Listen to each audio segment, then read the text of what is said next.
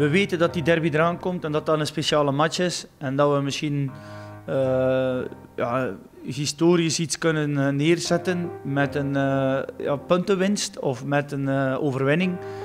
Maar we, we zijn vooral eh, bezig met een eh, continuïteit te creëren en proberen een goede match te spelen.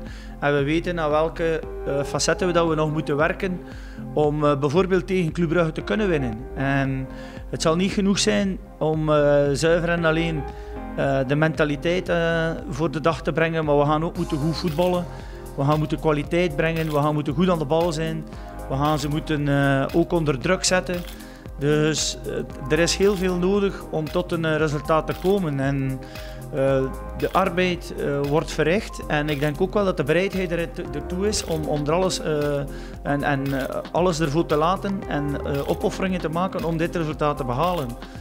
Wat dan vrijdagavond gaat gebeuren is nog altijd een beetje afhankelijk van de vorm van de dag. Maar ik denk wel dat we strijdlustig zijn en niet zomaar de handdoek gaan werpen.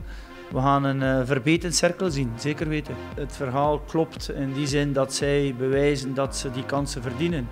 En ze hebben er hard voor gewerkt en we hebben ook al gezien dat ze uit de juiste, het juiste hout gesneden zijn. En ja, een extra troef kan misschien zijn dan uh, dat derbygevoel van de streek zelf zijn.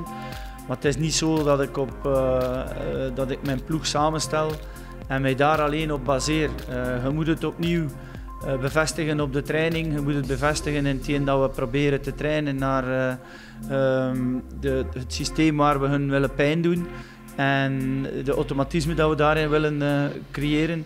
En ja, degene die dat dan het best verwerkt in de, in, in de week, dan krijgen die me meestal de, de positie op het veld. Er waren er een aantal die dan toch zeiden van we hebben al een derby gespeeld en dan weet je dat de, de rivaliteit wel een keer kan op, uh, opwaaien.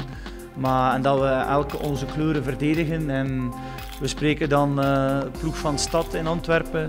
Maar voor ons is het uh, zeker iets wat met um, hoe zeg je het, identiteit te maken heeft. En waar we Brugge willen vier maken en dan zeker aan uh, Cercle supporters. Wat ik voor, voor, ons dan uh, heel tevreden ben, is dat we al vier punten hebben. Met twee matchen in het vooruitzicht van Club Brugge en Anderlecht is dat toch wel iets noodzakelijk. En dat hebben we en dat geeft ons een, een goed gevoel. Zitten we daarom met ons kop in de wolken en zweven ze? Zeker niet. We weten dat we een Hans moeilijke partij voor de dag hebben. Salut jongens. Dag.